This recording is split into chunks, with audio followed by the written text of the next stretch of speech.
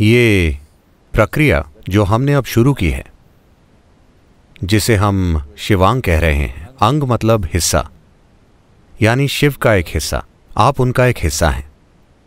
तो सृष्टिकर्ता का एक हिस्सा होना, ये रूपांतरण की यात्रा, सृष्टि का एक हिस्सा होने से लेकर, सृष्टिकर्ता का एक हिस्सा होने तक की है। ये ऐसी चीज़ है जो हम सभी में समाई हुई है। ना सिर्फ़ इंसानों का, बल्कि हमारे आसपास जीवन के हर रूप का भी वही स्रोत है। लेकिन हमारे पास जो सबसे बड़ा अवसर है, या जो सबसे बड़ी चुनौती है, हमारे जीवन में जो सबसे बड़ी संभावना है, वो ये है कि हमारे अंदर उसका अनुभव करने की क्षमता है। हम उसे एक चेतन प्रक्रिया में बदल सकते हैं। कोई भी दूसरा जीव ये नहीं कर सकता। कोई भी अन्य प्राणी, हालाँकि वो भी उसी से बने हैं, लेकिन वो कभी ये नहीं जान सकते कि वो उससे बने हैं।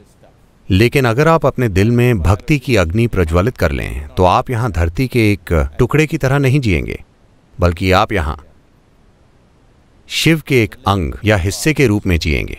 तो मैं चाहता हूँ कि एक भक्त के रूप में आप अपने आसपास की हर चीज़ के प्रति एक नए स्तर की संवेदनशीलता पैदा करें। मैं चाहता हूँ कि आप इस नए स्तर की संवेदनशीलता की संस्कृति लाएँ और भक्ति सबसे खूबसूरत और आकर्षक चीज़ बन जानी चाहिए। ये हमेशा से रही है। This is what human heart longs for, that it wants to be on fire without reason. इंसान का दिल इसी चीज़ की इच्छा रखता है। ये बिना किसी वजह से प्रज्वलित रहना चाहता है। अगर ये बिना किसी वजह से प्रज्वलित नहीं है तो आप इसे हॉर्मोन्स की मदद से प्रज्वलित करेंगे। अगर भक्ति नहीं है तो आप किसी से लगाव रखने की बुरी तरह से कोशिशें करते रहेंगे। अगर भक्ति है तो आप देखेंगे कि आप जो भी चाहते हैं, वो आपके अंदर ही हो रहा है। सबसे खूबसूरत चीज़ें आपके अंदर ही हो रही हैं।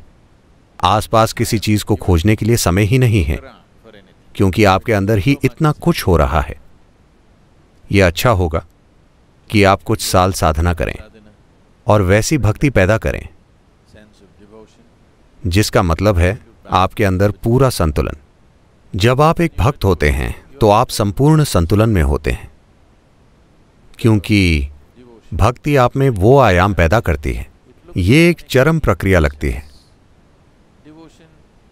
भक्ति या भक्त एक चरमपंथी है, जो किसी के खिलाफ नहीं है। हमें ऐसे लोगों की ज़रूरत है। फ़िलहाल हम ऐसे चरमपंथी तैयार कर रहे हैं, जो हमेशा किसी के खिलाफ होते हैं। मैं चाहता हूँ कि आप बस कल्पना करें। उग्रवादियों जैसे लोग, जो इस धरती पर तबाही मचा रहे हैं, लेकिन उनमें एक आयाम है, जो बहुत मूल्यवान है। वो ये है कि वो उस चीज़ के लिए मरने के लिए तैयार हैं, जिसे वो कीमती मानते हैं।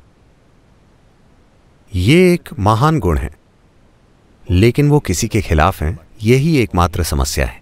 मान लीजिए उनका कोई दुश्मन नहीं होता। मान लीजिए आपका कोई दुश्मन ना हो और आप में दुश्मन बनाने की क्षमता भी ना हो, पर आप चरमपंथी हो तो आप एक शानदार, तीव्र इंसान होंगे, है ना?